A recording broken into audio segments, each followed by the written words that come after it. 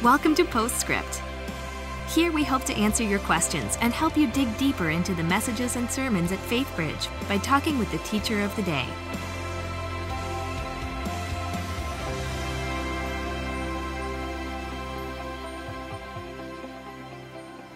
And welcome to Postscript. I'm Luann Riley, Grow Group and Discipleship Director, and I'm here with Pastor Dan, who just talked to us today about discipling our children. Welcome, Pastor Dan.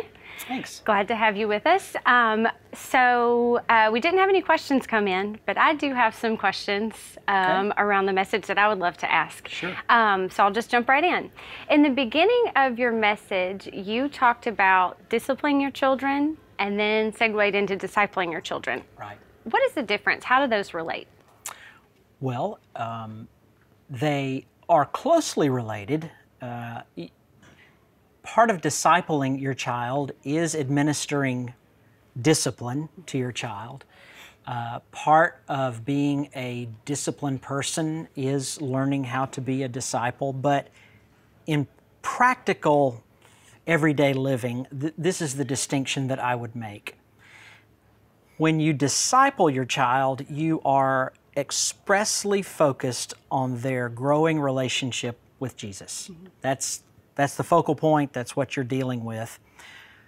When you discipline your child, you're really dealing with all of life. You're teaching them how to behave. You're teaching them that life has consequences, whether you're uh, dealing with behaviors or language or how they use money or whether they stay out too late, uh, you know, wh- whatever the case may be, it, it covers a much broader spectrum than discipling.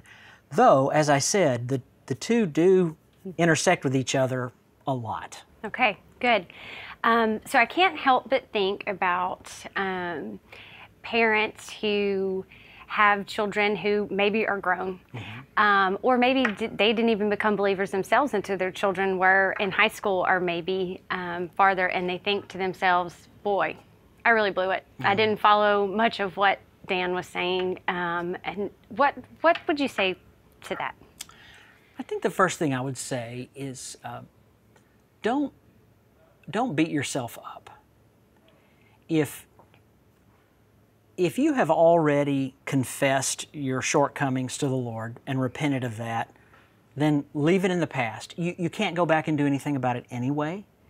And so to feel guilty and to beat yourself up is counterproductive in the extreme. Instead, I would uh, begin to orient my prayer life toward asking God for opportunities to dialogue with my adult child about these matters in a gracious sort of way that the child can receive. Uh, I would uh, focus on other children that are in my sphere of influence that I can be a godly influence for. And um, I would, uh, to whatever degree I'm able, if grandkids are a part of the picture, uh, exert appropriate godly influence there as well.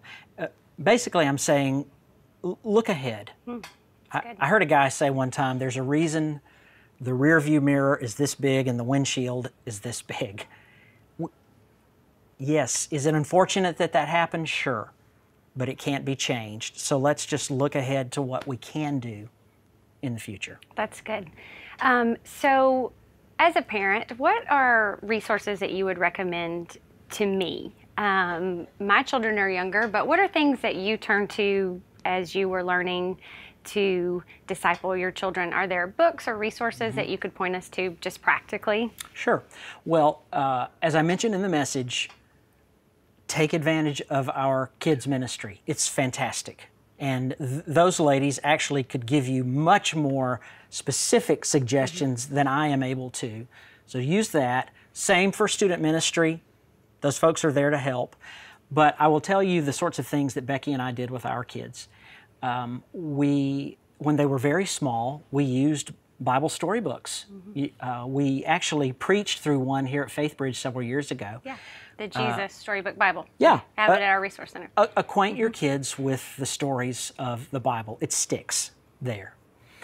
Um, make family opportunities for worship a regular part of your life. That doesn't mean you have to preach a sermon, it doesn't have to be super formal or anything. At the end of the day, as you're going to bed, you can talk about where did I see God today and what did God do in my life. Um, the, the thing that Becky and I tried to do was continually orient our children toward God. Uh, whether that was a Bible storybook or having a worship time, or sometimes even in the midst of discipline when we were learning a hard life lesson, talking about what does this mean in terms of my relationship with God and how does He feel about me in the midst of all this. Um, those are the sorts of tools that we used, and um, we, we were by no means perfect, um, but we did find them to be very helpful. Good, thank you. Well, I think all of the points, no matter where you are as um, with your children, but also talking when you don't have children, looking for a place that you can Sure. invest in the lives of children. Absolutely, So thank you for yeah. that message today, and thank you for joining us here for Postscript. We'll see you back here next week. Thanks for joining us for Postscript. Help us keep the podcast interactive by submitting your questions during the morning services. Learn more at faithbridge.org/postscript.